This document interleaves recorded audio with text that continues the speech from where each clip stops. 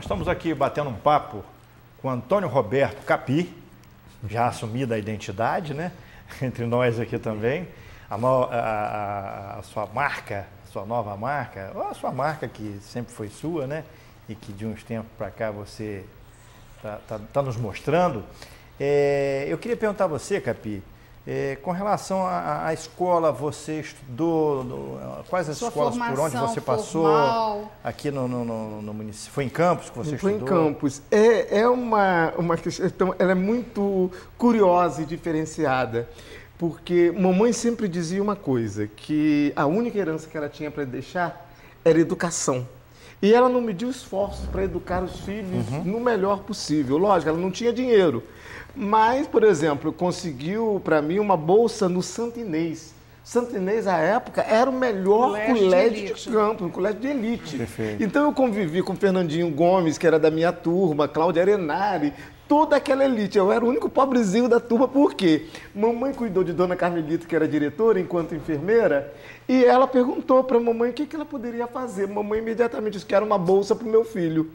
Uhum. E eu estudei no Santinês de graça e vivia uma dicotomia extrema. Eu tinha meu melhor amigo na época, Maíra Esperança, que eu ia todo final de semana para casa dele, brincava nos brinquedos eletrônicos, no, no autorama, autorama importado, naquela realidade, mas a minha realidade era comendo bife de carne de terceira amaciado no leite de mamão. Uhum.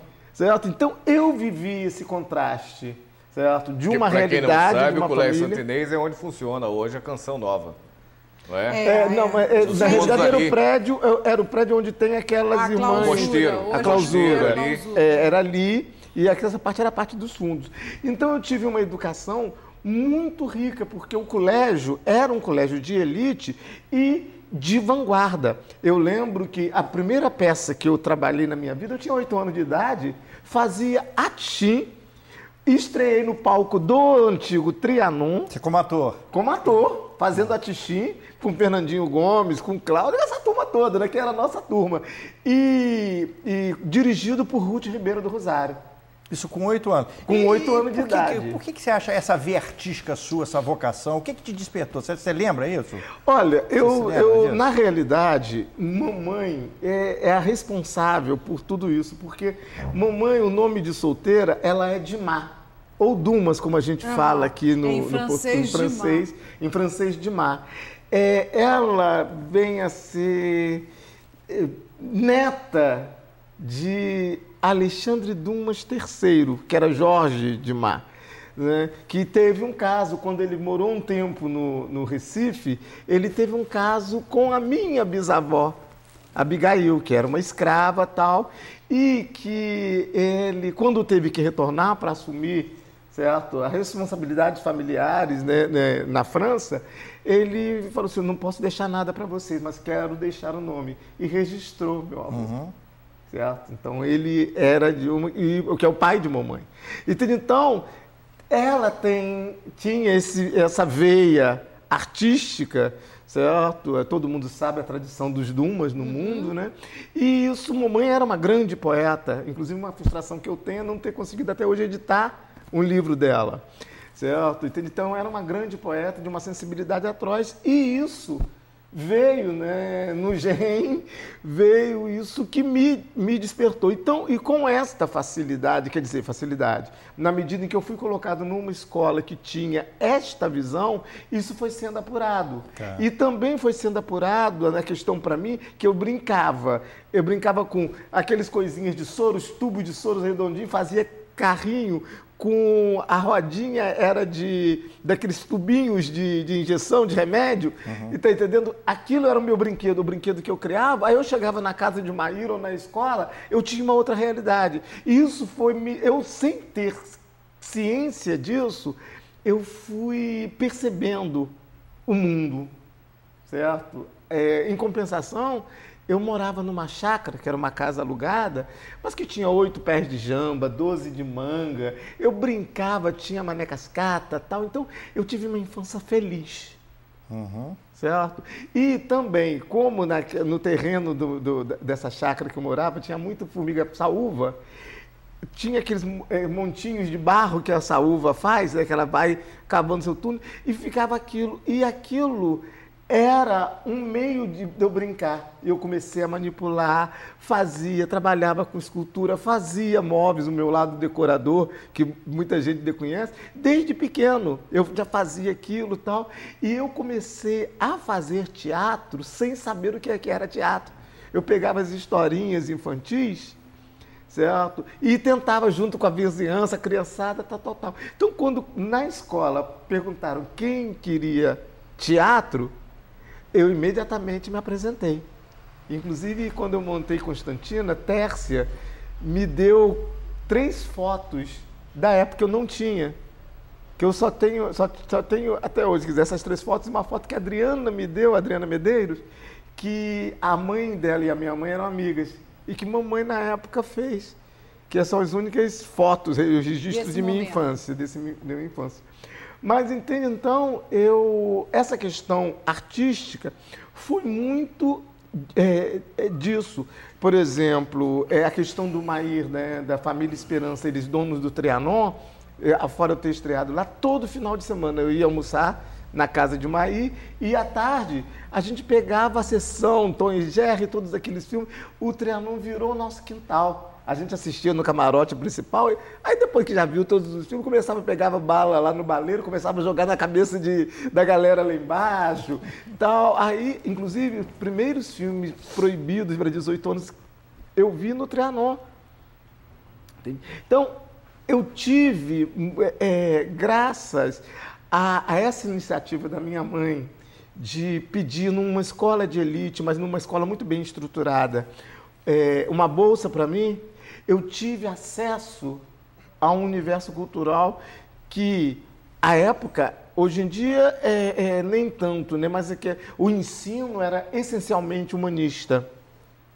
Entende? Então, isso contribuiu muito para apurar Mas o Santa Inês, na época, era, tinha, era ensino fundamental e médio, que, que é o não, que é hoje? Não, Primeiro não. e segundo era grau? Só primário. Só primário. E primário, aí, eu fiz de, de, de depois, primeiro a quarto. Ginásio, eu passei para o Bitancourt que eu tenho muita saudade. Hum. Foi outro universo. Eu estudei também. um ano no Bitancourt também. Eu estudei os quatro anos no Bitancourt. Aí, porque aconteceu o seguinte, deixa, deixa eu voltar um pouquinho claro. no tempo. É, é, quando a gente estreou a peça lá, quando eu com oito anos de idade, naquela época não tinha rissagem, não tinha essas coisas.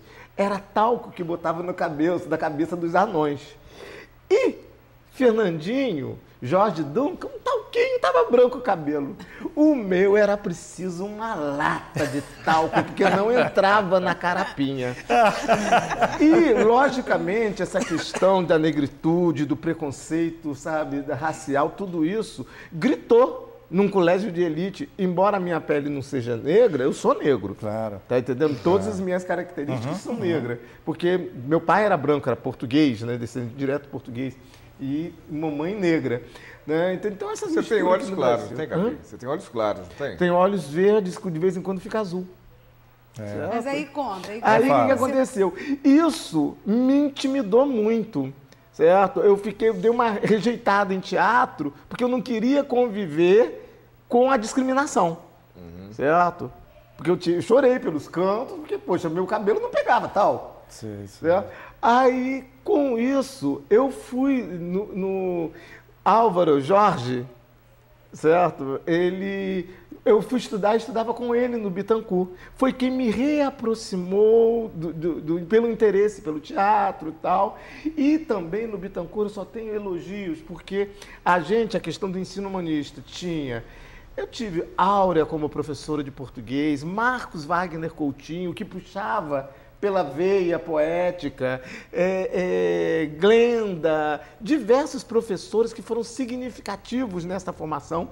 Ronei era professor de desenho artístico. Olha. Eu tinha Elinho Coelho era professor, meu professor de história. Então a gente tinha canto orfeônico com Clóvis Bittencourt. Então você tinha uma formação, por exemplo, línguas. Eu tive português, inglês, inglês francês e latim. Entende? É, então, hoje a gente não era uma formação é essencialmente humanística. Entende? Então, quem tinha uma sensibilidade podia apurar. E apesar do Bittencourt ser considerado um colégio de segundo ou de terceiro, mas os professores mas do Bittencourt... naquele momento... Não, naquele momento não era, não. não era, não. Não estava decadente. Não, sabe? É, mas sempre foi tirado como inferior, mas os professores... É, é, Elzira Daia era professora de geografia, era do liceu. E era Muita do gente aí era do liceu e era do tá Bittencourt. Mas aí você foi o ginasial e depois terminou lá? Aí, não, terminei o ginásio, é, aí eu fui para a escola técnica. Ah, você eu fiz, fiz, técnica. passei, fiz para a escola técnica, fiz edificações.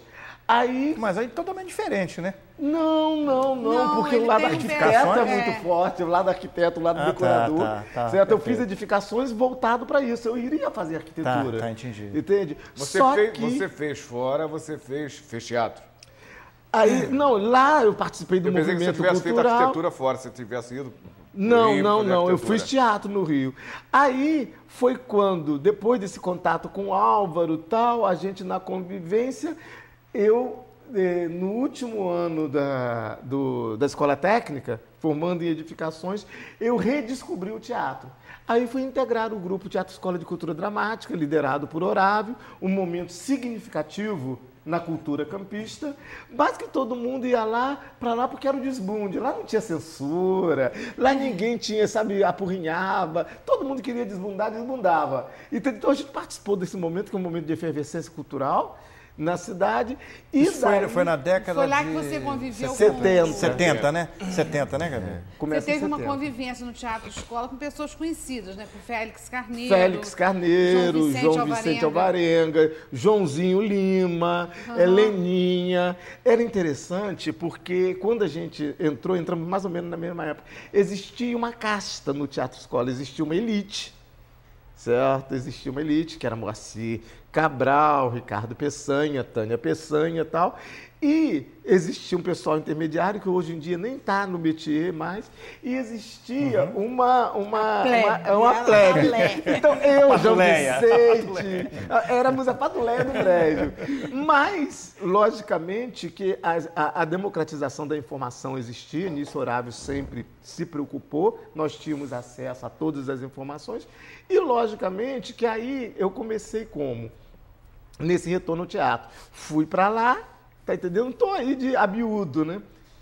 Sobrou o quê? Primeiro papel meu no, no, no teatro nesse retorno. Fui ser bilheteiro. É mesmo? Me botaram na bilheteria. Né? Eu lembro da peça Cordão Umbilical. Gilda Henrique, que fazia o personagem principal, que aparecia como um feto, era um negócio surreal. Mas isso aí será se você ainda não guardava dentro de você aquele menino de oito anos com aquela, com aquela, com aquele bloqueio, aquele bloqueio. Com certeza, mas você aí... foi uma forma de você ir se reaproximando do Isso. teatro, da como bilheteria. eu, como eu, eu tenho, tenho outros motivos, tá. certo? Mas como eu fazia escola técnica, edificações, no segundo momento eu já virei cenógrafo. Uhum. Comecei a experiência a trabalhar com cenografia ali, estava aplicando meus conhecimentos de escola técnica, de edificações, na cenografia. E daí eu fui descobrindo esse universo dos bastidores do teatro. Mas você vai contar isso daqui a pouquinho para gente, porque a gente vai a um intervalinho e Capi vai, tá, nós estamos aqui num bate-papo gostoso, ele vai contar para gente os bastidores do teatro e a efervescência do teatro lá na década de 80, foi um momento muito importante do teatro em Campos. Daqui a pouco.